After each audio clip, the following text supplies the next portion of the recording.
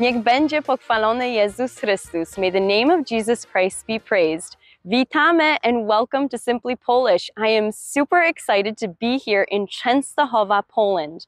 I am currently standing on Jasna Góra Monastery, or the Bright Hill Monastery of Częstochowa. And here, this monastery is run by the Pauline Fathers. This is a place most revered by Polish people housing our Black Madonna or the Czarna Madonna.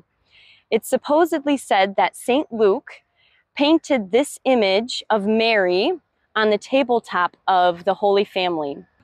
It's also said that St. Helen, while she was in search of the Holy Cross of Jesus in Jerusalem, she came upon this icon of our Blessed Mother Mary and moved it from Jerusalem to Constantinople, where her son, Constantine, was the first Christian emperor of Rome.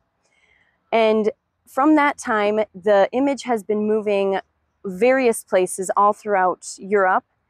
At one point, Prince Opolski had it in his possession, and while he was traveling with the image in a carriage with horses, it was traveling through this area, and at one point, it did not, the horses did not want to move at all.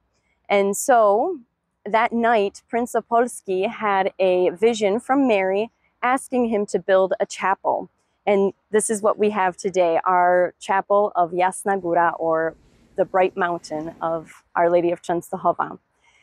The image has endured many attacks.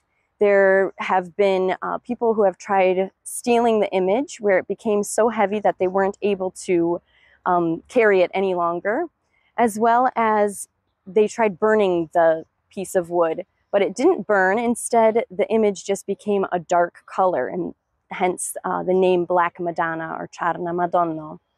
And uh, as well as they tried even cutting it with swords, and the slashes that you see on her cheeks, those are from someone trying to ruin the image as well. The Polish people revere Mother, our Blessed Mother, as their Queen of Poland and this place is very dear to Polish people's hearts. In the month of August, thousands of Polish people from all over Poland come and walk on foot to the sanctuary here.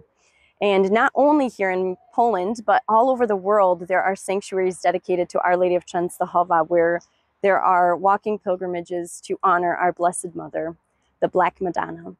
I hope that you've enjoyed this video, and until next time, do zobaczenia!